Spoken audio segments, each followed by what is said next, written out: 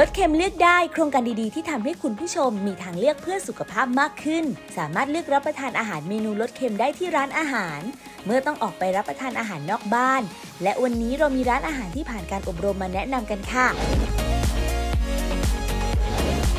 นั่นก็คือร้านอาหารบ้านคอกม้าราชบุรี สาขาหลักตั้งอยู่ที่อำเภอเมืองราชบุรี จังหวัดราชบุรี หรือติดตามรายละเอียดได้ที่ Facebook ร้านอาหารบ้านคอกม้าราชบุรี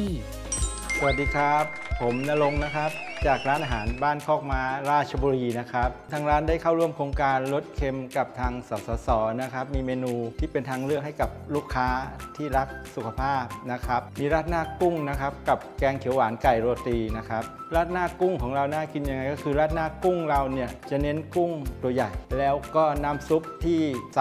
แล้วก็ที่สำคัญคือลดเค็มลงมา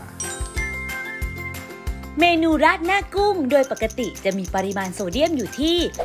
2,178 มิลลิกรัม แต่เมื่อทางร้านปรับลดความเค็มแล้ว จะมีปริมาณโซเดียมอยู่ที่ 1,235 มิลลิกรัม ปริมาณโซเดียมลดลง 43เปอร์เซ็นต์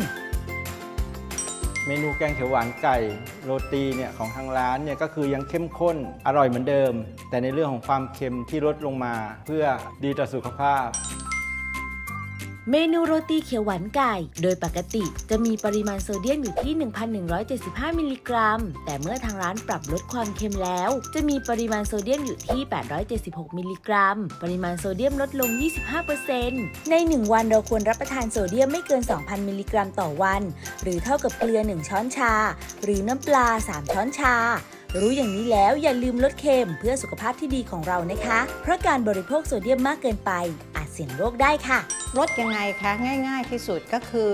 อพวกของหมักของดองหรืออาหารแปรรูปเนี่ยนะคะ จะมีเกลือแอบแฝงอยู่โดยที่เราไม่รู้ตัวนะคะ เพราะนอกจากเค็มที่เราเห็นเนี่ยก็จะมีพวกสารถนอมอาหารบ้างนะคะทำให้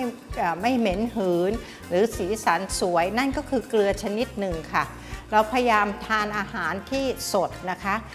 ที่มาปรุงเองนะคะ แต่ถ้าเผื่อเราลดเนี่ยวันละนิดนะคะก็จะจะได้